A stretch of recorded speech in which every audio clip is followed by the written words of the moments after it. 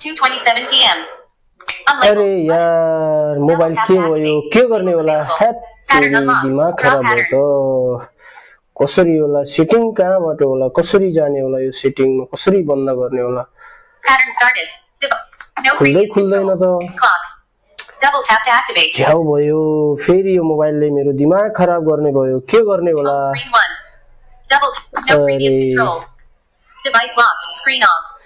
Home यो बोलिरहेको छ एक चुप न रे चुप। चुप चुप। ए ओहो। कहाँ लिने होला यो मोबाइललाई? कसरी गर्ने होला? सेटिङ बन्द। कहाँ कुन सेटिङ अब चालु भएको छ? कसले दबाइदियो यो? कहाँबाट दबाइ यस्तो हो खालि भोलि भोलि मात्र रहन्छ। Double tap and hold to long press. भोलि मात्र रहन्छ कहाँबाट यो चाहिँ सेटिङ चालु भएछ के गर्ने होला? कहाँ कसलाई सोध्ने होला? Two. Screen off. 2:30 देख्नुभयो साथीहरू. यो बोलिरहेको छ यो बोलिरहेको छ यसलाई कसरी ठिक गर्ने होला? डोन्ट वरी त्यसको लागि यो भिडियो त्यसैको लागि त बनेको साथीहरू. ये बोलिरहेको छ यो किन हुन्छ साथीहरू? यसमा एउटा सेटिङ हुन्छ जुन चाहिँ टक ब्याक छ। एस एसेसिबिलिटी सेटिङ भित्र एउटा टक ब्याक भन्ने एउटा सेटिङ हुन्छ त्यो अप्सन हुन्छ।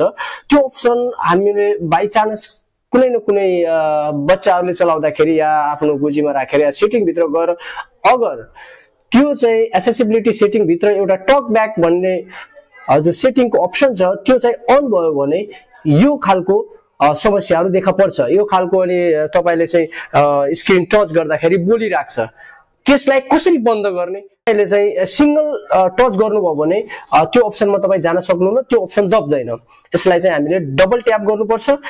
या त डबल फिङ्गरले तपाईँले स्लाइस गर्नुपर्ने स्लाइड गर्नुपर्ने हुन्छ देख्न सक्नुहुन्छ 2 p.m. Airplane mode.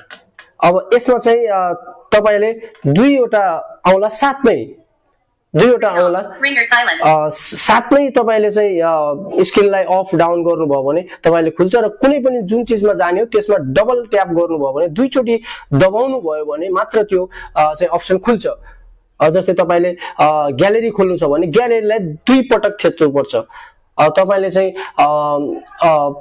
क्यामेरा खोल्नु छ भने क्यामेरालाई दुईचोटि चाहिँ प्रेस गर्नुपर्छ। तपाईँले चाहिँ सेटिङमा जानु छ भने सेटिङलाई दुईचोटि प्रेस गर्नुपर्छ तब मात्र त्यो सेटिङभित्र जान सक्नुहुन्छ। कोही पनि तपाईँ तपाईँले सिलेक्ट गर्नु चाहनुहुन्छ त्यो चिजलाई तपाईँले चाहिँ दुईचोटि प्रेस गर्नुपर्छ साथीहरू। देख्न सक्नुहुन्छ तपाईँलाई मेरो मोबाइल स्क्रिनबाट म तपाईँलाई देखाउनेछु। लक भयो अब। यसलाई चाहिँ मैले ओपन गरेँ। अब तपाईँलाई मैले देखाउँदैछु मैले यहाँबाट यसरी गरेँ भने खुलेन। यसरी गरेँ। अरे भाइ चुप राख्न शान्ति रहन भाइ। अब मैले दुईवटा औँलाले माथि स्लाइस गरेँ। अब लकसम्म मैले लक राखेको थिएँ त्यसलाई मैले ड्र गर्छु। अब यसको लागि मैले सिङ्गल गरेँ भने ड्र हुँदैन। एकदम स्मुथली लाग्दैन। अब मैले दुईवटा औँलाले यसलाई ड्र गर्दैछु साथीहरू। देख्न सक्नुहुन्छ? यो भयो। अब हामी चाहिँ यसलाई बन्द गर्नको लागि सबैभन्दा पहिला हामी सेटिङमा जानेछौँ। अब सेटिङलाई खोज्नु पर्ने हुन्छ। अब दुईवटा औँलाले अब यसरी चाहिँ माथि गर्नुभयो भने मेरो चाहिँ यो. एप्लिकेसनको चाहिँ फर्मेट आयो। अ, यसमा चाहिँ मैले माथिपट्टि छ सेटिङ। एकचोटि. गर्दा सिलेक्ट भयो। अब यसलाई डबलचोटि क्लिक गर्नुपर्ने हुन्छ. डबलचोटि क्लिक गरेँ. डबलचोटि क्लिक गरिसकेपछि. हामी जानेछौँ अब मेरो मोबाइलमा सर्टकट एन्ड एसेसिबिलिटी सेटिङ भित्र पर्छ यो। अ, तपाईँहरूको एसेसिबिलिटी सेटिङ अन्य फोल्डरमा रहेको हुनसक्छ। त्यसमा मैले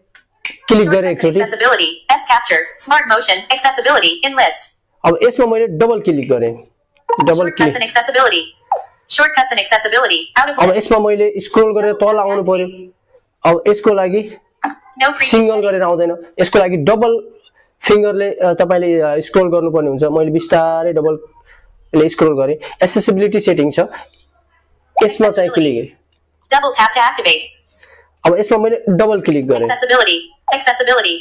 अब यसमा तपाईँले देख्न सक्नुहुन्छ सबैभन्दा माथिपट्टि रहेको छ मेरो मोबाइलमा on speak item on screen भन्ने छ टक ब्याक भन्ने अप्सनमा हामीले यसलाई क्लिक गर्नेछौँ। एकचोटि क्लिक गर्दाखेरि. तपाईँले ओपन हुँदैन यसलाई डबल क्लिक गर्नुपर्ने.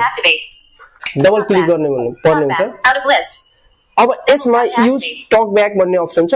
यो चाहिँ अहिले अन भएको अवस्थामा छ। यसलाई हामीले अन गरिदियो भने यो टक ब्याक सजिलै बन्द हुन्छ र तपाईँको मोबाइल पूर्ण अवस्थामा आउँदछ अनि तपाईँले चाहिँ यसरी चाहिँ आवाज आइराख्ने अ, त्यो झन्झटबाट त्यो टेन्सनबाट तपाईँ फ्री हुनुहुन्छ ल मैले यसलाई एकचोटि दबाएँ.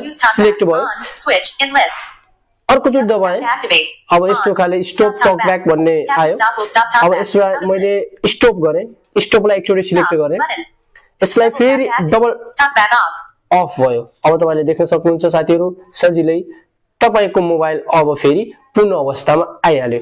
भएन त साथीहरू एउटा सानो सेटिङले म तपाईँको मोबाइललाई र तपाईँलाई हैरान गरेर तपाईँको मोबाइललाई चलाउँदाखेरि तपाईँ हैरान हुनुहुन्छ दिक्क हुनुहुन्छ। यो सेटिङ अगर काहीँ बाई मिस्टेक बच्चाको हातबाट या तपाईँको पकेटबाट या कहीँबाट दबिहाल्यो भने तपाईँलाई परेशान गरेर तपाईँलाई एकदम आफत गराइदिन्छ यो सेटिङले।